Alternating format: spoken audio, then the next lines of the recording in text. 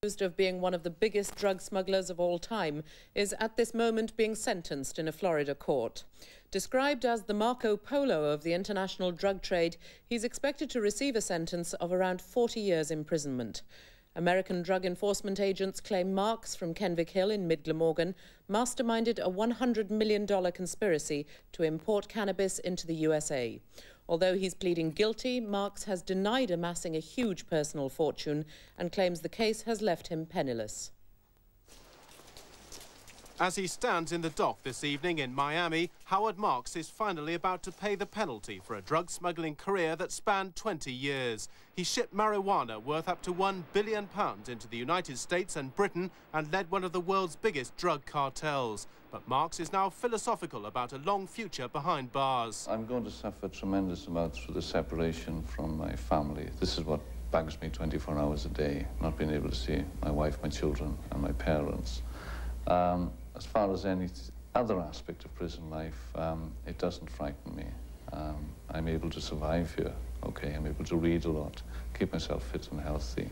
So the day-to-day -day life doesn't worry me, worry me, but the separation from my family just tears me to shreds.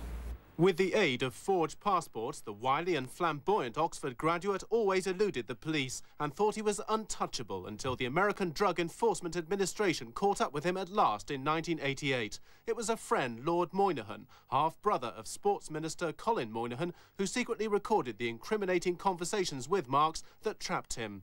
Marks's wife, Judy, later to be released, was arrested with him at their luxury villa in Mallorca before they were extradited to Florida. The US authorities were jubilant, although at the time Marks protested his innocence, claiming the trial would be, as he put it, the biggest bloody circus in the history of that idiotic country. Mr. Marks was sort of the, uh, the Marco Polo of the drug traffic. Uh, Mr. Marks is the one who really instituted, going back to 1973, a lot of the methods that we see traffickers doing today. I'm not quite sure what the Marco Polo of the drug business means. It's a bit like being Percy Thrall of philosophy, isn't it? Absolutely no idea what it means. However, Marks has since decided to come clean. Although he's likely to be sentenced to 40 years tonight, he's done a plea bargaining deal, which means that by admitting just two counts of racketeering, he could be released on parole after 10 years. I think it was a mixture of foolishness, a lack of understanding of the, the jurisdiction of, of American law in foreign countries, and of course financial greed. At home in Kenfig Hill today, Howard Marks's father was maintaining his rigid silence about his son's drug smuggling exploits. As the Marks legend has grown, his family have always refused to talk publicly about the son who's become the world's most famous drug runner. Though Marks himself has carefully cultivated an image as a Valley's boy made bad, his was a comfortable middle-class background. His father is a retired sea captain. His uncle Mostyn, the local county councillor, awarded the MBE. From school in Kenfig Hill, Howard, an exceptionally bright youngster, won a scholarship to Oxford. It was the 60s, and it was there he acquired a taste for cannabis, the drug that would dominate his life.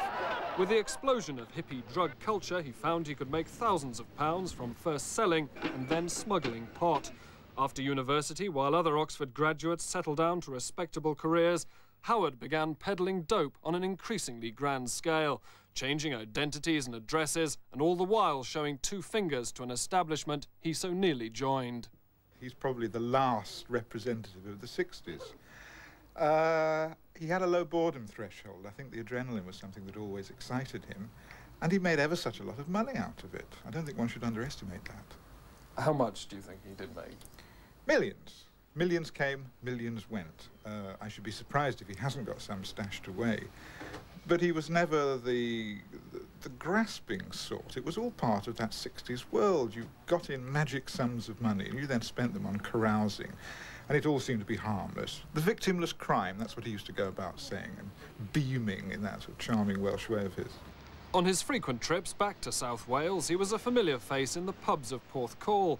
Favourite haunt of the local hippies was the Knights Arms. The then landlord remembers him as a popular character for whom no one had a bad word pot wasn't wasn't a bad name then, and um, I knew he was mixed up in it, but he didn't look like your normal dealer, you know. Looked like a proper gentleman, and never had any trouble with him.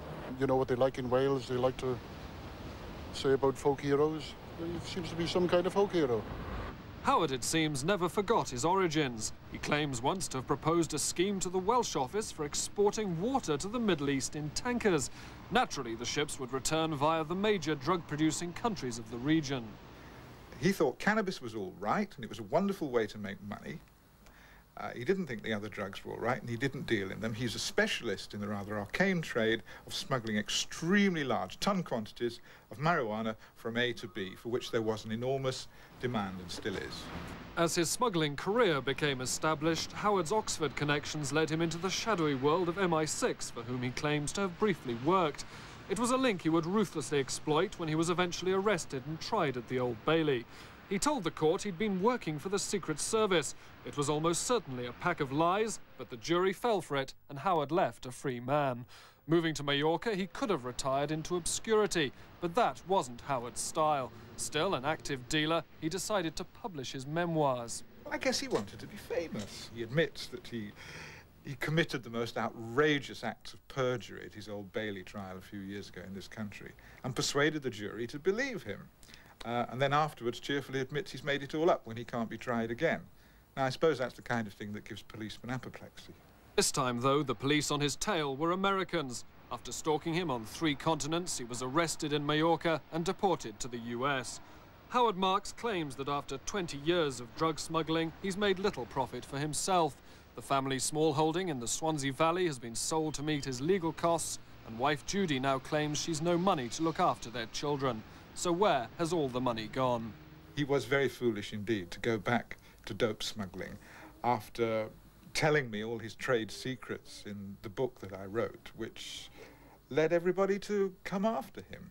So, I mean, anybody who could be as zany as to do that is maybe zany enough to spend all the money as well, I don't know. Uh, I have no asset whatsoever, unfortunately, absolutely none, which is very distressing, but nevertheless true.